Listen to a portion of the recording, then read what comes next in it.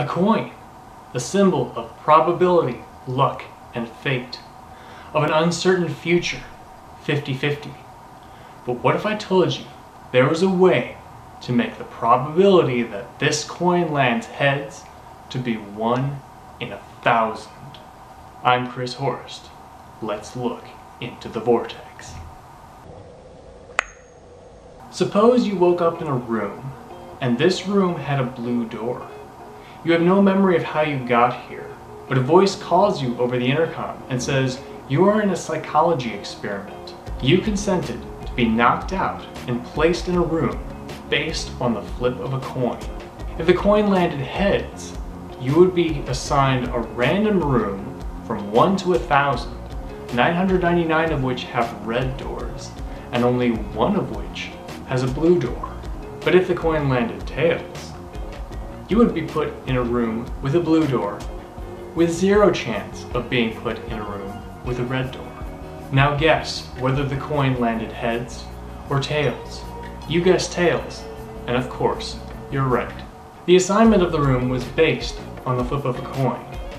But because you knew that you ended up in a room with a blue door, you realized that there was very little chance that the coin landed with the correct face to assign you to a random door.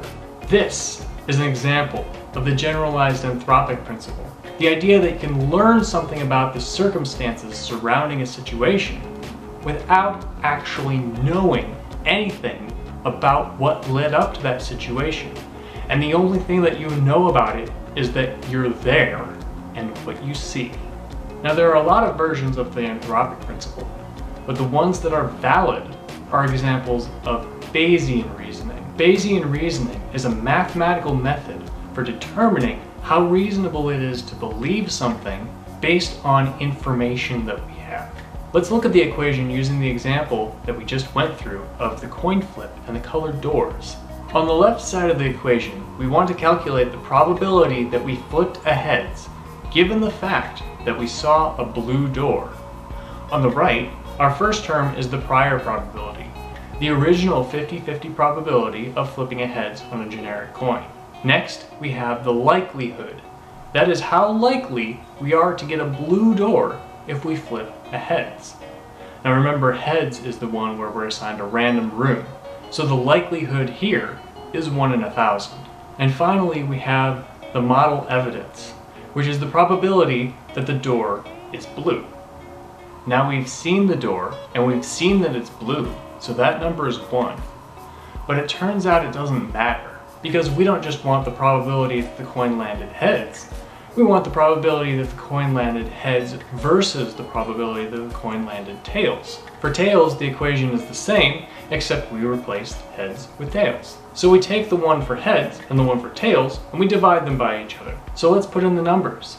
The prior probabilities for heads and for tails are both 50-50, or 1 half. Let's put that in, and since it's the same in a fraction, it cancels out.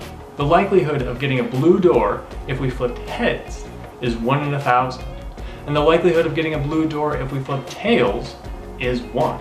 So we simplify that, and we see the probability of having flipped a heads versus the probability of having flipped a tails is 1 in a thousand. What's this have to do with having a deep understanding of the universe? Well, the anthropic principle can apply to a lot more than just coin flips and psychology experiments. Think back to the time when the only planets we knew about were those in our solar system. And back then we included Pluto, so let's include that and say there are nine just for today. And we looked around and we thought, how amazing is it that this planet has all of the things it needs to support life? It's so ridiculously improbable that it seems nonsensical to entertain the idea that it happened by chance.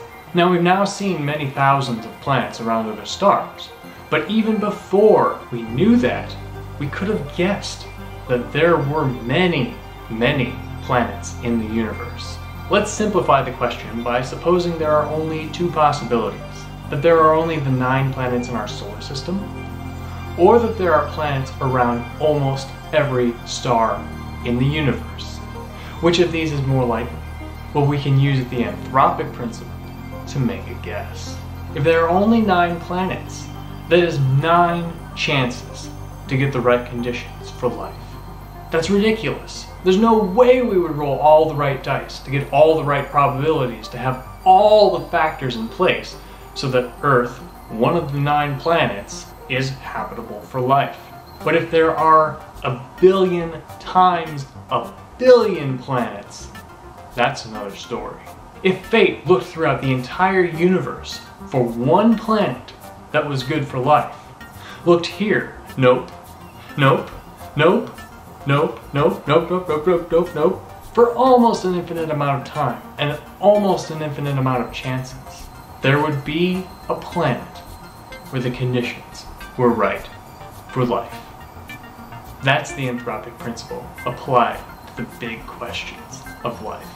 There are many others, some of which we'll talk about in upcoming videos. Thanks for watching. Make sure to leave a like and a comment. And for more glimpses into the vortex of science and philosophy, hit the subscribe button. I'll see you next time.